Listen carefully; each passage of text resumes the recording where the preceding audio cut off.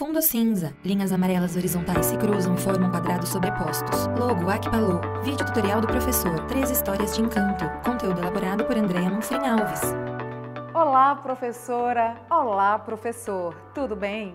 Neste vídeo, iremos conversar sobre algumas propostas para trabalhar em sala de aula o livro Três Histórias de Encanto, escrito por Sônia Rosa, com ilustrações de Rubem Filho. Livros são um convite à literatura, um mundo cheio de histórias que falam de sonhos, coragem, imaginação, mistério e fantasia.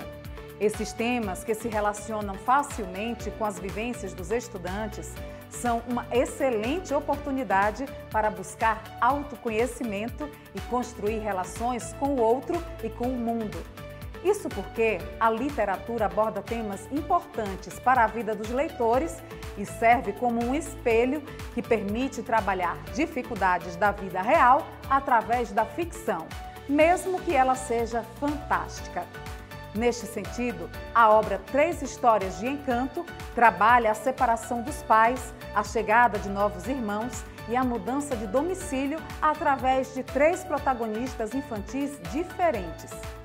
Por meio da história de amizade de Gregório, do encontro de Nina com a mulher misteriosa e da aventura de Antero, a criança constrói sua própria identidade e amadurece a forma como lida com situações difíceis. Por esse motivo, o tema central do livro é autoconhecimento, sentimentos e emoções. Os contos de Sônia Rosa se passam em universos próximos à nossa realidade, mas com elementos sobrenaturais que extrapolam os limites do mundo real. Cada texto é independente, porém, a leitura de todos os textos traz mais significados para a obra. As ilustrações que integram a obra também exercem seu papel, pois incentivam a imaginação do estudante sem jamais revelar todos os elementos fantásticos contidos nas narrativas. A leitura de um livro pode ser muito mais significativa se for explorada em todas as suas possibilidades. Por isso, vamos explorar agora algumas propostas de atividades que podem ser desenvolvidas antes, durante e após a leitura do livro Três Histórias de Encanto. Antes da leitura, convidamos você, professor ou professora, a refletir sobre o gênero textual da obra. Três Histórias de Encanto traz três narrativas curtas com poucos personagens e apenas um conflito central. Por isso, elas podem ser classificadas como contos. Como mencionamos, o mundo em que esses contos se passam é parecido com o nosso, mas traz elementos fantásticos que, de certa forma, moldam as histórias de Gregório, Nina e Antero. Por isso, podem ser caracterizados como contos fantásticos. Comece o momento de pré-leitura perguntando aos alunos se sabem o que é um conto e se conhecem o conto fantástico. Faça perguntas e deixe que eles compartilhem o conhecimento prévio que têm sobre esse gênero textual. Proponha uma pesquisa do tema Conto Fantástico incentivando o protagonismo dos estudantes. Traga alguns exemplos de contos fantásticos ou peça aos estudantes que tragam, de forma a aumentar o repertório cultural da turma. Você também pode explorar com os estudantes os subgêneros do conto fantástico, que incluem ficção científica, terror e fantasia. Na faixa etária dos estudantes, a leitura de imagens é um aspecto importante de aprendizado e formação leitora. Por isso, traga algumas imagens fantásticas que aguçem a imaginação dos alunos, como pinturas surrealistas. Peça que descrevam as imagens, os sentimentos que evocam, o que acham delas e até que história eles podem imaginar a partir dessas pinturas. Feita a contextualização do gênero, apresente o livro Três Histórias de Encanto aos estudantes. Explore com eles a imagem e observe se estabelecem alguma relação entre os dois. Faça o mesmo procedimento para a quarta capa.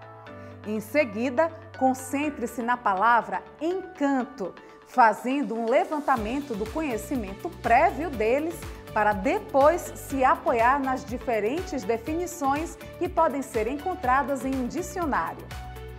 Passe então para as ilustrações do livro, explorando a história que elas contam. Finalize esse momento de pré-leitura apresentando a biografia da autora e do ilustrador. Sônia Rosa nasceu no Rio de Janeiro e foi lá que ela estudou pedagogia e se tornou mestre em estudos étnico-raciais. Ela trabalhou como professora, pedagoga e contadora de histórias e também escreveu livros para crianças. Seu primeiro livro foi publicado em 1995. Desde então, ela já publicou mais de 30 títulos. Rubem Filho nasceu em 1969 em Belo Horizonte. Ele sempre gostou de desenhar e, quando cresceu, decidiu trabalhar com artes.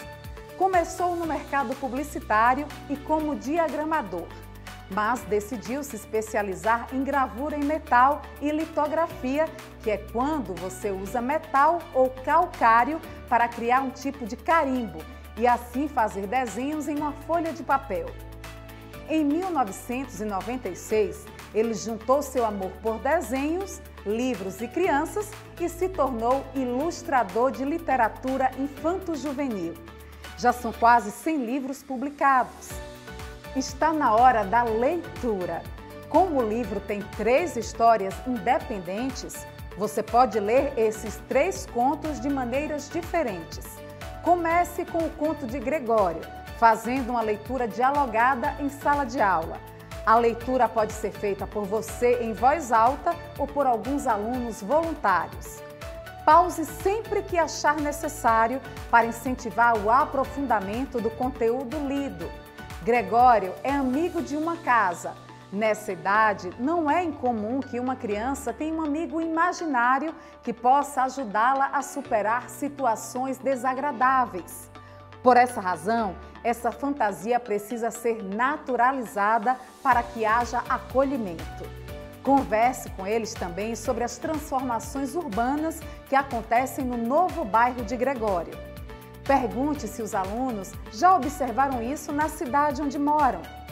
A leitura do segundo conto pode ser realizada individualmente em casa Nesse momento, os alunos já estarão mais familiarizados com o livro e poderão explorá-lo sozinhos. Após essa leitura, organize uma conversa em sala sobre os elementos fantásticos da história de Nina. Após ouvir falar sobre uma mulher estranha que passeia perto do rio, Nina a observa abrindo a cabeça para remover seus problemas e conseguir dormir. Estabeleça um paralelo com a realidade das crianças e pergunte se elas conhecem alguma forma que as pessoas têm para aliviar a mente, como meditação, exercícios de respiração, atividades de lazer, contato com a natureza, entre outros. Para o último livro, proponha uma atividade de literacia familiar. Deixe que os estudantes levem os livros novamente para casa e dessa vez façam a leitura do conto com algum familiar ou responsável. Isso incentiva momentos significativos com a família e o gosto pela leitura. Se achar necessário, prepare um manual para os familiares ou responsáveis com dicas e orientações para a leitura dialogada. Ao final dessa leitura, organize uma dinâmica em sala de aula para verificar a compreensão dos alunos. Destaque elementos do texto que podem ser discutidos em sala, como o medo que Antero tinha de fazer xixi na cama e o fato de que ele aprendeu a ler mais tarde. Essa é uma excelente oportunidade para que os estudantes pensem nas transformações que experimentaram na vida depois que aprenderam a ler.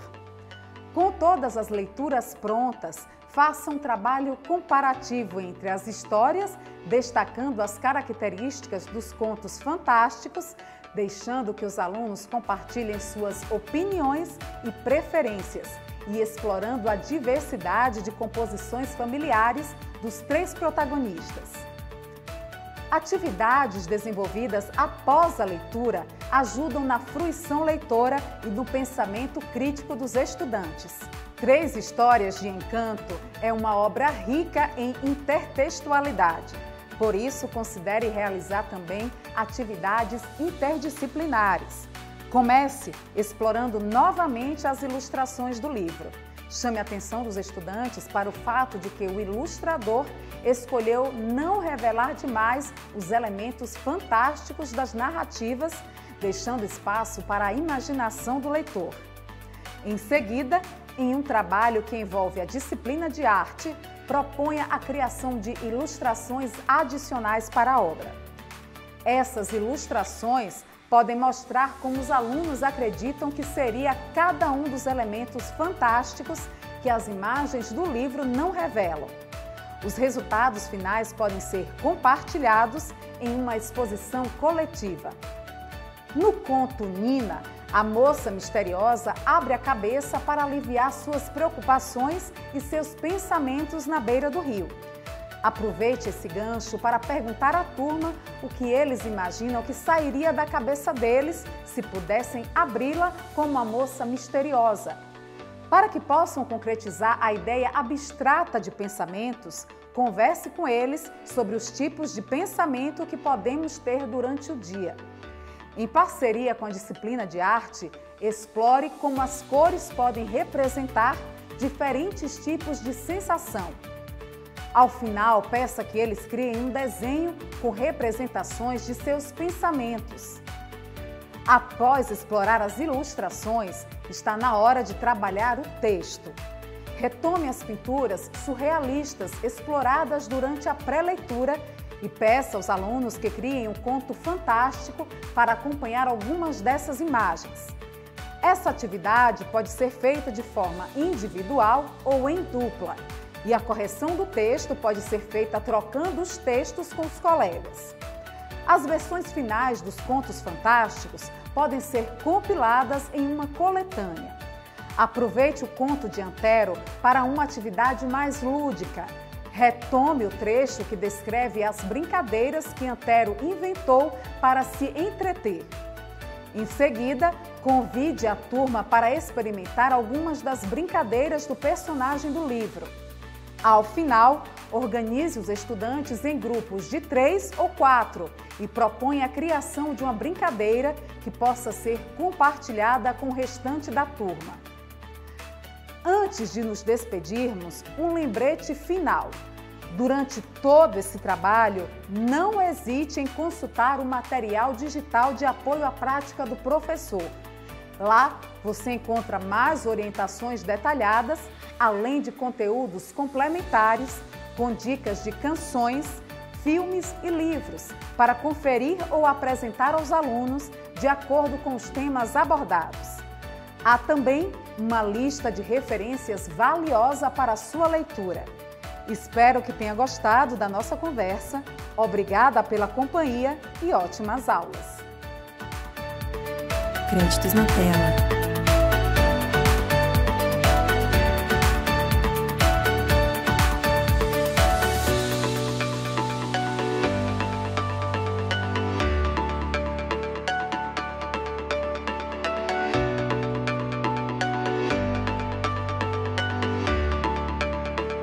Logo Akpalu